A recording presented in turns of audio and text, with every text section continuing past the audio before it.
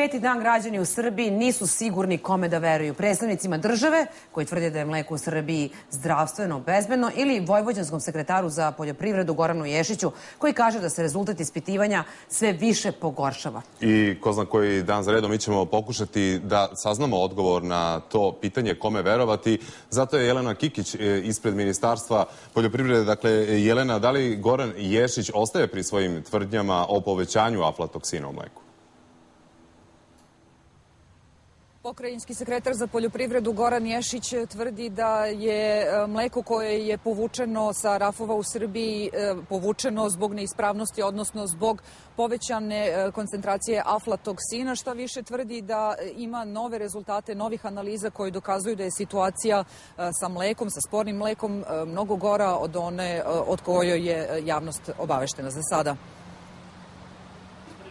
Aflatoksina u mleku ima znatno više nego što je to pokazala prva analiza, tvrdi pokrajinski sekretar za poljoprivredu Goran Ješić. Za razliku od prethodne konferencije, danas nije iznosio podatke. Podaci u odnosu na onu bečesku analizu i ovi podaci su, ovi su puno lošiji. Ja ovo mogu da vam dam i objavim, ovi dva čekaju da me tuže. Ti podaci su apsolutno tačni. Samo što čekamo sada da kreditna laboratorija slepi uzorak potvrdi da vam objavim to na sajtu. Goran Ješić je siguran da mleko koje je povučeno iz prodaje nije ispravno ja vas pitam, da li oni povlače mleko? A ko je u pravu?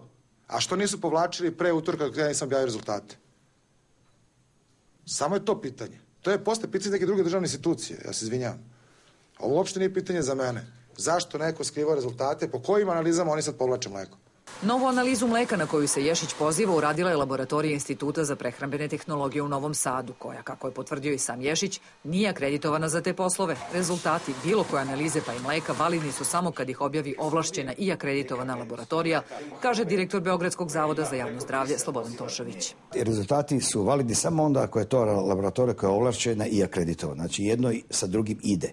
E, to što neko ima akreditaciju, tu 17.025, to je standard, taj standard, to znači da on radi tako da rezultat odgovara pravoj vrednosti. To mi tako radimo i nismo jedini, moram da priznam, ali radimo. E, zdravstvo i nacionalna mreža zavoda i instituta što je veoma značajno, znači mi smo neprofitabilni. Jedan od dvojice toksikologa koje je delegiralo Ministarstvo zdravlja da prati situaciju sa aflatoksinom, kaže da sve što sadrži aflatoksin koji je u skladu sa propisanom normom nije opasno po zdravlje.